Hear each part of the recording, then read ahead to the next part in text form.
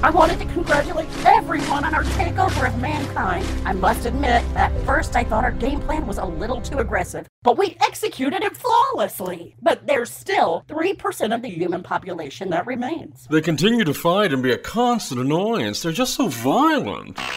So the question is, how do we get the remaining humans to trust us while not changing our practice of eradicating them? I have one word.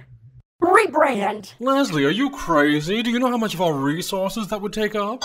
We built an identity that's now recognizable and dependable. If we change that, how will the public know what to expect from us? Rebranding doesn't mean that we have to sacrifice any of what we've developed. It's an opportunity to repackage what we already do, but make it appear as if we do something different. So the killer human name wouldn't be around anymore? No. So we're gonna have to rename ourselves? Yes. Does that mean a new fabulous logo? It'll be a new everything except for our objective. We must stick to our core values. Don't we already dominate the market in human destruction? Yes. And who's our competition? Well, nobody really. But there's always room for growth, right? And changing our name and logo will help with that? People know us as the company that will kill them. They can trust in us to get that job done well, so we don't want to betray that trust. Maybe getting away from the whole we'll kill you message would be a good thing. You know, like catch more bees with honey. Or humans with crippling tasers? I think what Ron is saying is that changing the message but keeping the goal the same would probably be beneficial. No, I was suggesting we start selling baked goods. People love warm bread. Okay, Ron. Well, what I thought you were proposing was a better idea. We should just go back to our roots. What did people like about robots when we first arrived? We made life easier. We did jobs people weren't able to do. We didn't set out to eradicate the planet of humans. Yeah, that's a big one. You know what we really did well was lulling them into submission. Like when we introduced electronic trance music. Or with video games? Close. I was thinking more along the lines of this. Genius. Ah, the cell phone! Quiet, unassuming, effective. When we domesticated humans like house cats. Well, let's try it out.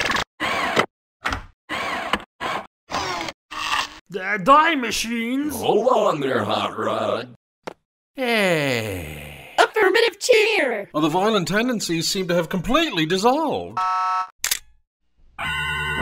Now that we have a course of action, we need the new name, the new logo, the whole new package with the pleasant, comforting bow on top. How about honey baked humans?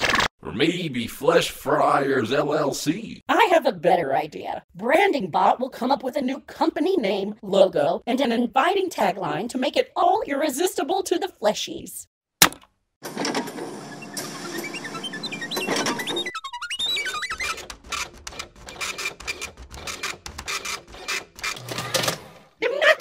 Behold our new company identity! We are now Zenternal! Oh, how tranquil. What's the slogan mean?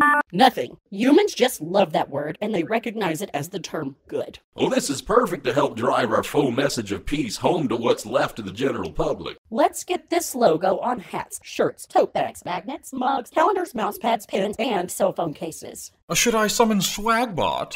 No, just put in an order with Vistaprint. Oh, use the promo code VIP SHIP 845. You'll get free shipping. Okay, while you do that, I'm going to call Droid Mobile and activate a few thousand of these. Please listen carefully as Ugh, an automated system? I just want to get a live person on the phone.